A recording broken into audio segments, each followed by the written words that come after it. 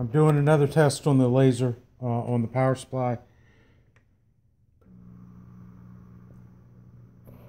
Okay, I've got power to the back. Got the power meter turned up. You can see that here. Power meter's turned all the way up. Uh, laser switch is on. Test switch. I'll fire up the machine. I think at home. Okay. I got power. Um, and I'll hit the test switch here. You can hear a clicking.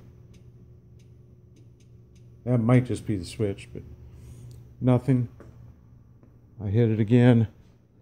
See if you can see here. Nothing. Power's definitely dead. Um, red lights on thing. You know, I've never hit the test switch on there. Let me let me see here. Let's hit the test switch on the unit for the heck of it. Nothing. You can hear it, maybe a clicking in the power supply.